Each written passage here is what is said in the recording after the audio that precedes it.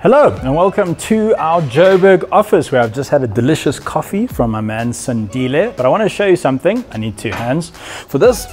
Ah, there we go. This is our very own electric vehicle charger. We had it installed towards the end of last year and we did that because Jaguar wanted to give us an I-Pace for a month to see what it's like to live with an electric car. So let me take you through a couple of the basics here. If you'd like to install one of those in your office, that's the 7.4 kilowatt hour unit. They cost about 23,000 Rand. It was about 7,000 Rand for the install. That price can vary. And that means that we are now EV ready. So we had to do that to get the I-Pace, but it was one of the coolest things we've ever done. And one of our CEOs, Alistair, has been living with the I-Pace for the month but I've stolen it from him for a few days because I'm up here for the 2020 Cars Awards. So here we go. Here is a day or two in the life of me and an electric car. The Jaguar I-Pace is a car of extremes. It is extremely fast, it is extremely luxurious, extremely good looking and extremely expensive. But it's also extremely good to drive. Let's go. Let me take you through the startup procedure. Foot on the brake, press the start button, and the car is on after this cool, like futuristic sound. And we're off. Reverse button, all your drive buttons are over here. And quite interestingly, the car emits a noise from the outside, like a beeping noise, because the car is so quiet that it's actually a danger to pedestrians. And that I think has actually just been made law. So you know like when you're at the back of a Pick n Pay and there's trucks reversing everywhere and they're all beeping? It's like that, but classier. Way more expensive.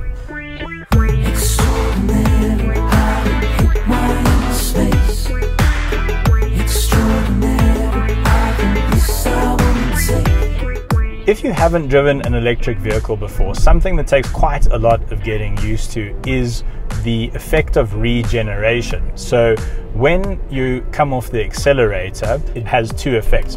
And that is one, it decelerates the car, and two, it charges the battery, which is super, super cool. So for instance, if you're rolling downhill, you're not using the accelerator, you're actually charging the battery. And in the I-Pace, that regeneration effect is really, really strong. And what it means in practice is that you actually drive this car on one pedal. You hardly ever use the brakes. And I've read that on some Teslas, people go six, seven, eight years without changing their front brake pads because you just hardly ever use them. And interestingly, the car, when you come right off the accelerator, turns the brake lights on because the car is slowing down so much that someone would just rear end you, which is not good. And what that results in is a very relaxing driving experience. So not only is it very quiet in here, it's not stressful in any way to drive this car. So I have cleverly engineered this video so that I can do things like go for coffee and tell you about the car at the same time. That's, that's my thought pattern.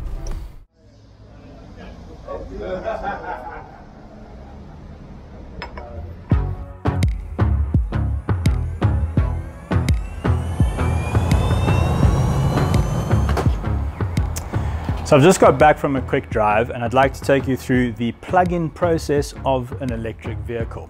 You unlock the car and then open this flap over there. You then move over to your charging point and you grab hold of the plug. In it goes. Now a good idea is to lock the car. You don't have to, but what that does is if you're in a public place, it actually locks that thing in place so it can't be removed and tampered with and then you get on with your day, I suppose. Um, we do have a we have a front door, you know, for people who want to walk into the office, but all the way over there.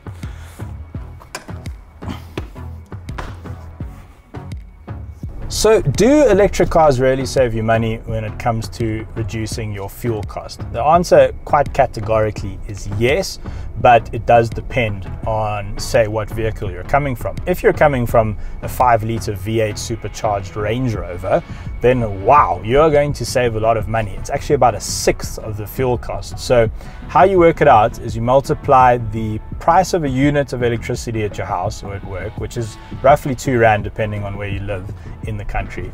Multiplied by the size of the battery, which in the I-Pace case is about 91 kilowatt hours. So that's about 180 bucks, and you do about 400 Ks on that, 350 to 400 Ks. Now I'm not going to do the rest of the maths, but I think to fill up a Range Rover these days costs a lot more than 180 Rand. And if you drive it like a bell end, then you're probably also going to do about 300 and 350, 400 Ks on a tank. So that gives you an idea of how much cheaper it is to run an electric car. But here's what's really exciting about electric cars. The way you can charge your car gets cheaper and cleaner all the time. So if you have a petrol or diesel powered car, you can't really make your own fuel, can you? I mean, you, you can make diesel out of old cooking oil, but I mean, that's quite a mission. You can't make your own petrol. You just can't. Whereas, if you invest in your home, you take your home off the grid, and then you charge your electric car at home, you're charging it off the sun. You can't do that with a petrol car. That's not an option ever. It's never going to be. And that's one of the reasons why I think investing in an electric car is a good idea. Just imagine never having petrol costs ever again. It's brilliant. Let me give you a tour of the actual I-Pace and to do so I'm going to get out.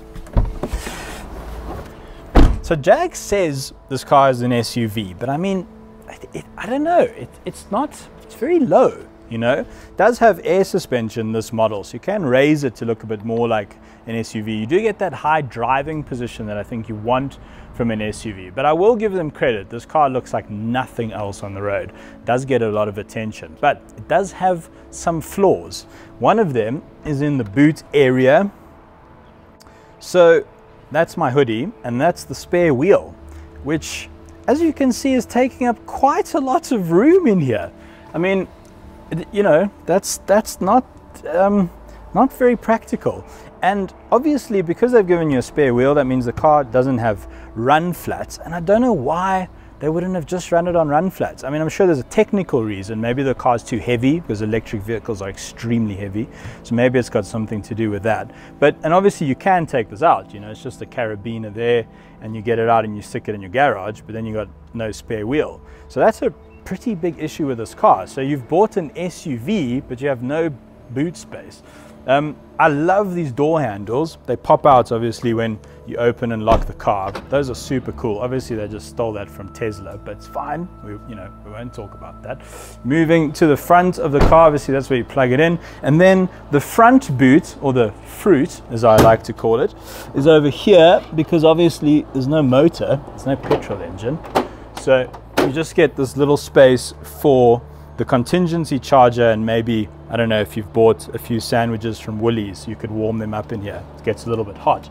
So this is the emergency charger. You really shouldn't use this often. In fact, you shouldn't use it at all. It's for real, real emergencies. It only charges, it takes 48 hours to charge the battery. So, I mean, it's completely useless and it's actually quite dangerous. It draws so much current. It draws more than a boiling kettle. So imagine leaving a kettle boiling for 48 hours. That's how dangerous this is. And when we plugged our BMW i3, because it has the same charger, into our office in Cape Town, it actually melted one of our extension cords. So yeah, don't burn your house down. Don't use that charger. There we go. That is a little tour of the I-Pace for you. I really do like the look of this thing. I really do. It's nice. Nice car.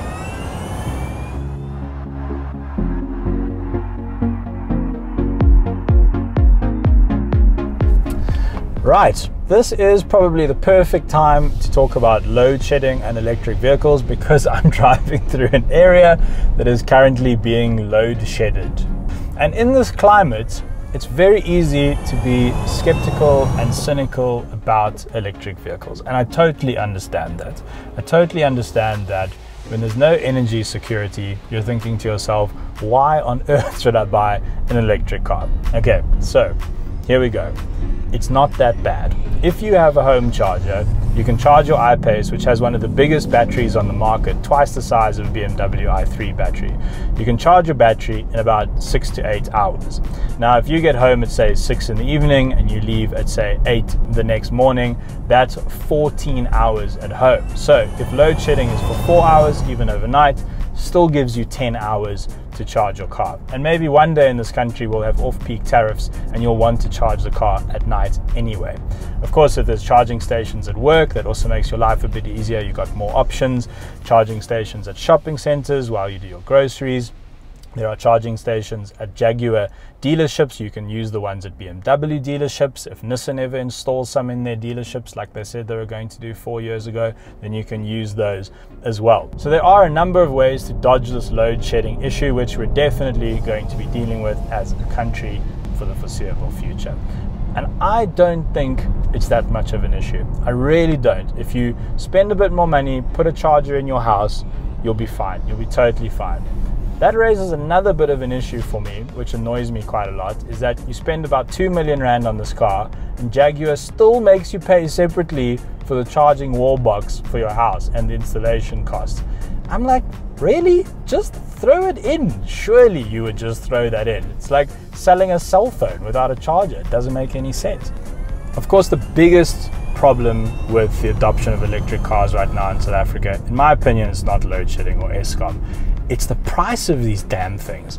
Wow, they are expensive. You can choose between this, which goes for about 1.9 million rand starting price, or you can choose the i3, the BMW, which goes for about 700,000 rand starting price. And when you consider that the average car finance deal through WesBank is 270,000 rand, that is way, way, way out of most people's budgets in this country. Way, way out. So until electric cars get down below 300,000 Rand, I don't think we're going to see widespread adoption. And that's such a pity. But remember the first cell phones? They cost an absolute fortune and they were so cuck. The battery life was like one and a half hours if you were lucky. Now cell phones are amazing. They shoot 4K and they have GPS involved and installed and batteries last like 24 hours unless it's an iPhone. iPhone joke. Threw that in there. But that, that's the thing. That's how technology works. These things are going to get cheaper. They are going to get better. It's just, and now that more manufacturers are involved in the industry, the competition is greater so that technology advances further because everyone's trying to outdo each other. Well, everyone's trying to beat Tesla, let's be honest. And that's great. That's great for you and me. That's great for people who want an electric car. It's awesome. Did you know that we also sell really awesome car themed merchandise? Check out our range of custom t-shirts and prints at our online store now. Simply click on the square box on your screen and we'll take you there or the link is in the description below. Thanks for watching.